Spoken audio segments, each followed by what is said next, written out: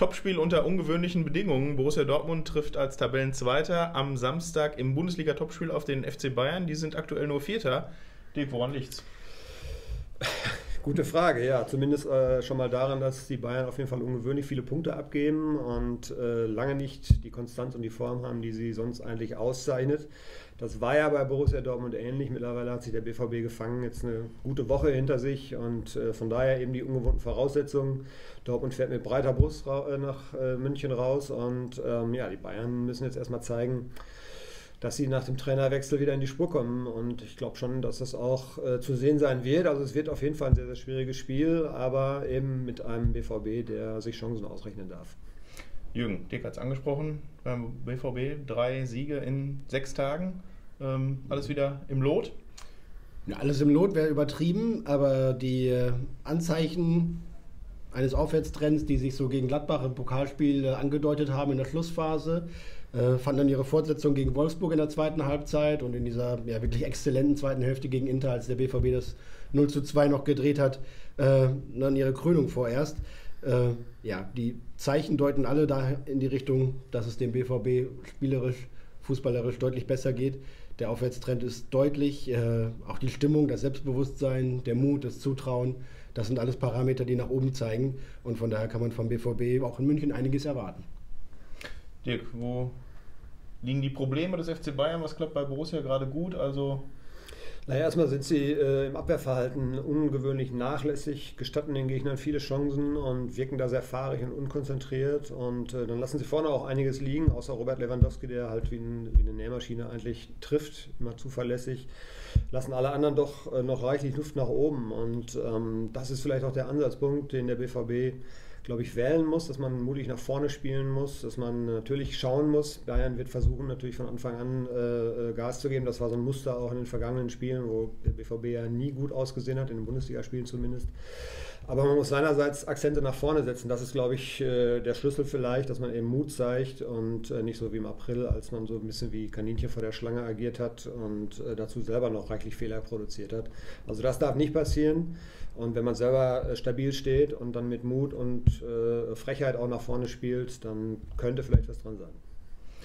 Jürgen, äh, im vergangenen April war es so das ultimative Endspiel um die Meisterschaft. Da ist mhm. Dortmund ziemlich untergegangen in München. Was hat das Spiel zum jetzigen Zeitpunkt für eine Bedeutung? Ich glaube schon eine wesentliche. Ähm, Bayern gegen Dortmund ist immer, immer spektakulär, immer spannend, immer brisant und besonders. Das hat Mats Hummels, der jetzt im Sommer nochmal die Seiten gewechselt hat, zum zweiten Mal, auch nochmal so betont. Ähm, da geht es schon immer auch um Kräftemessen der beiden deutschen Branchengrößen.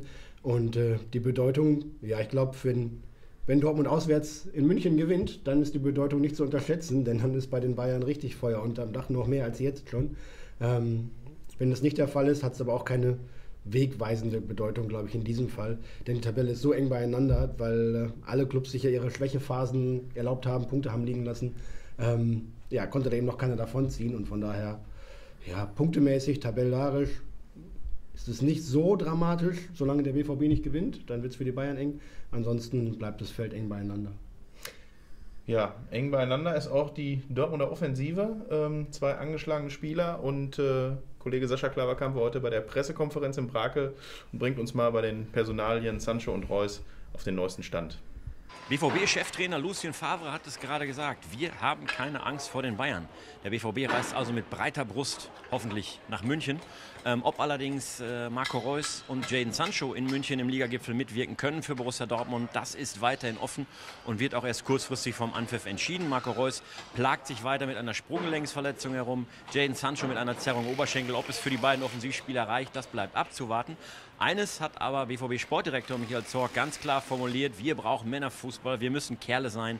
Das wird das Entscheidende sein in München, denn in den letzten Jahren gab es da für den BVB nichts zu holen, denn er hat nicht dagegen gehalten, so sagte Michael Zorc. Das muss sich in diesem Jahr ändern, dann kann es klappen. Ja, danke Sascha. Dirk, gucken wir nochmal auf eine ganz desaströse Bilanz des BVB. Die vergangenen fünf Bundesligaspiele. Dortmund in München, 0 Punkte, 3 zu 22 Tore. Warst du immer dabei, Dirk? Die war immer dabei, ja. Ich habe tatsächlich alle, alle diese Spiele gesehen. Ja, gut, dann.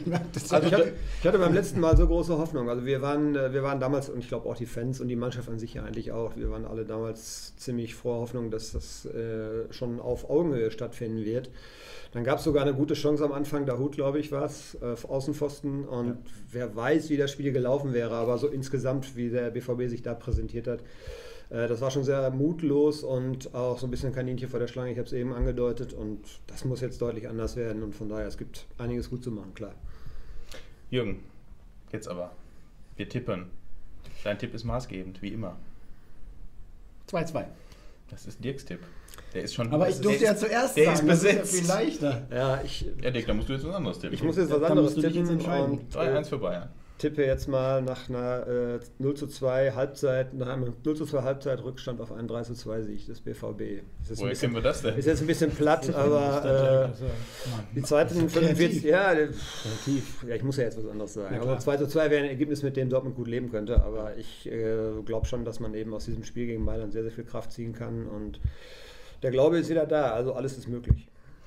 Gut, das ist ein wirklich Beeindruckender Schlusssatz. beeindruckender Schlusssatz. Äh, alle Infos natürlich zum Topspiel äh, auf www.ruhrnachrichten.de und wir verweisen auch gerne nochmal an dieser Stelle auf unsere Fanzone. Ähm, alles zum Spiel gibt es am Samstag ab 15.30 Uhr. Ähm, also auf jeden Fall reinklicken und wir drücken dem BVB die Daumen.